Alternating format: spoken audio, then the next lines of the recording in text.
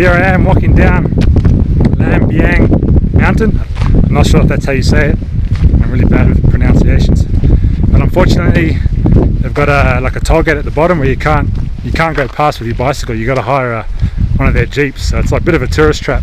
But beautiful mountain. As you can see, I'm still in the clouds. So instead of taking the jeep back down, I asked if I could just walk down because um, it's just you know you're only up here for like 40 minutes and they take you back down again. To me, it's not enough. So said, yeah, it's fine. So I'm walking down the road, and that way I get more time to take some snapshots and you know absorb the nature. And it's beautiful. It's all downhill. And it would have been awesome though if I took my bike up here. It would have been great. But uh, unfortunately, you cannot.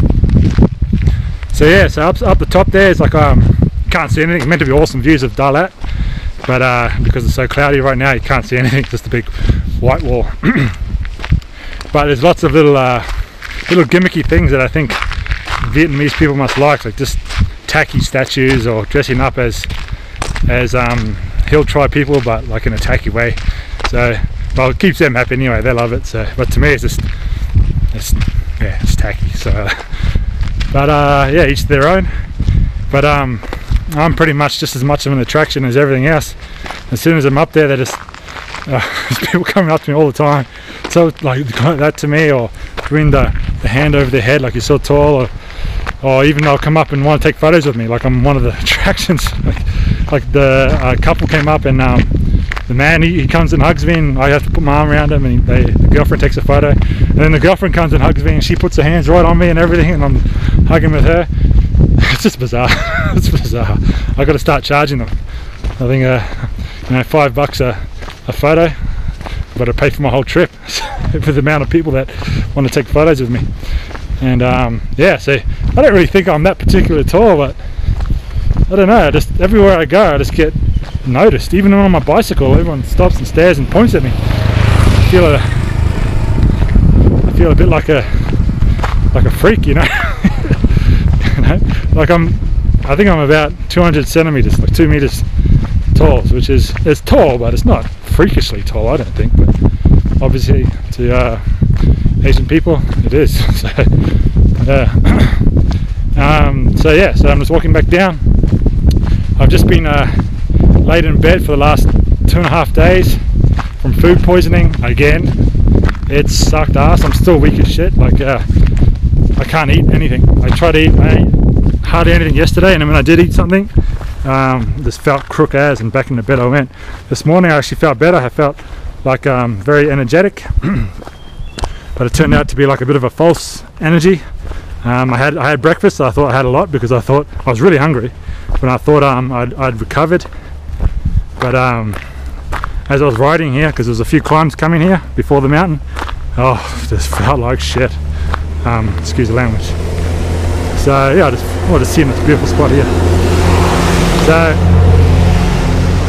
yeah so I'm not fully recovered yet which sucks but it happened the first night I got here. I think I got it from a dodgy vegetarian restaurant. Um, they had all the food out in the in the bain-maries, and it was sort of semi-cold. And even just thinking about it now makes me want to vomit. Um, but yeah, I got it pretty bad. I had just weak, really, really weak. Couldn't do anything. Sat in bed all day for two days. I wasn't vomiting. I haven't vomited yet, but um, oh, I had diarrhea. Really, it's just weakness and aching in the kidneys. Like my kidneys are really must be filtering my blood to uh, get the poison out. And I'm still knocked around by it now so it just sucks ass.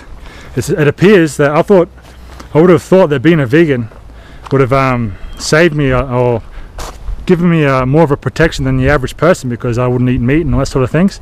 But it turns out I think it's after I think about it a bit it actually puts me at more of a risk because a lot of the food I eat is is fresh and raw like veggies and fruit. So and it's you know hasn't been cooked or hasn't got the all the bugs cooked out of them. So yeah I'm realizing that I'm probably actually at more risk more of a risk than uh, the average person. So what can you do? Live and learn I suppose. I just got to be really really careful because I'm glad I've actually I'm waiting still waiting for the parts from Phil Wood. So I think there'll be another three days or so.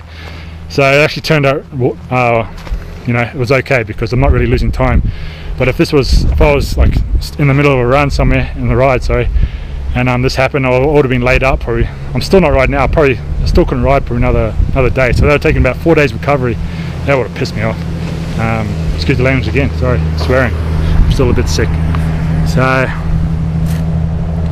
yeah, so that's not good. Um, but I'm getting better. Like I'm a lot more perky now. It's just um, just the lingering effects of that weakness, and um, just my stomach is not right. I can't hold any food down. I still I can't eat much at all, really.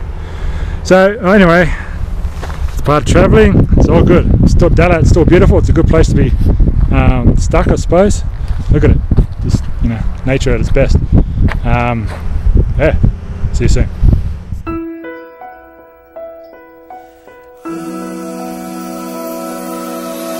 There's always gonna be another mountain. I'm always gonna wanna make it move. Always gonna be an uphill battle. Sometimes I'm gonna have to lose. Ain't about how fast I get there. Ain't about what's waiting on the other side.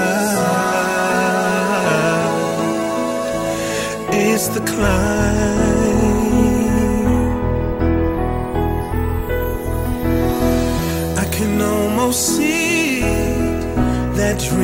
Dreaming, but there's a voice inside my head saying you'll never reach it. Every step I'm taking, every move I make feels lost with no direction. My faith is shaking. I gotta keep trying, gotta keep.